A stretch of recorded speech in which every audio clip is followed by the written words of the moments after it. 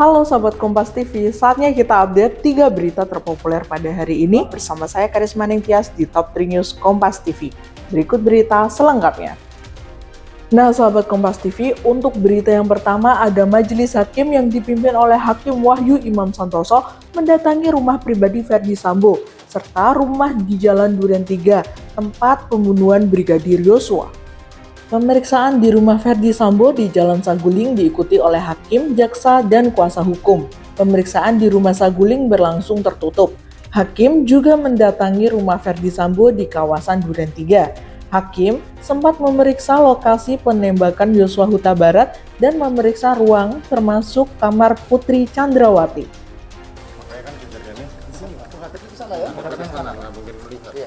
Kepala, kepala di sana, kaki kaki kepala mendekati sana ya. Oh.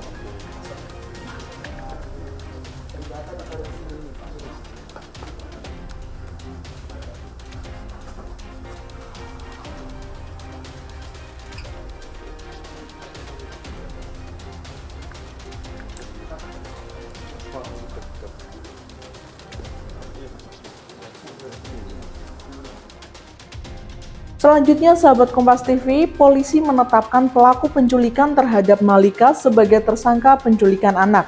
Berikut liputannya untuk kamu.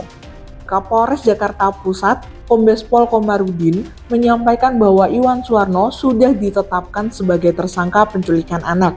Komarudin menyampaikan pelaku terancam hukuman hingga 15 tahun penjara. Hingga kini, kepolisian masih membutuhkan hasil visum untuk menambah bukti terkait dengan penculikan. Dari apa yang sudah dilakukan oleh tim dan juga proses pelanjutan DPO, tim berhasil mengamankan terduga pelaku yang semalam telah kami tetapkan sebagai tersangka atas dugaan penculikan dengan persangkaan pasal sementara. Ya, sementara kami terapkan pasal 76F yang berbunyi setiap orang dilarang menempatkan, membiarkan, melakukan, menyuruh melakukan atau turut serta melakukan penculikan penjualan dan atau perdagangan anak. Junto pasal 83 Undang-Undang RI nomor 35 tahun 2014 ancaman hukuman paling lama 15 tahun. Dan untuk berita yang terakhir sahabat Kompas TV, Mahkamah Agung menolak permohonan kasasi pemerkosa belasan santri Heri Wirawan. Dengan ini, Heri Wirawan tetap difonis dengan pidana mati.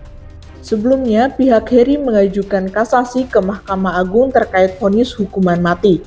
Namun, majelis hakim yang dipimpin oleh Hakim Agung Sri Murwahyuni dengan anggota Hidayat Manao dan Prim Haryadi menolak kasasi yang diajukan oleh Heri Wirawan. Garis miring PN Bandung dinyatakan dibuka dan terbuka untuk umum. Nah, sahabat Kompas TV, itu tadi tiga berita terpopuler hari ini. Mana nih berita yang paling menarik untuk kamu sahabat? Sampaikan di kolom komentar ya. Pastikan juga kamu sudah like lalu share video ini. Saya Karisma Ningtyas, pamit undur diri. See ya!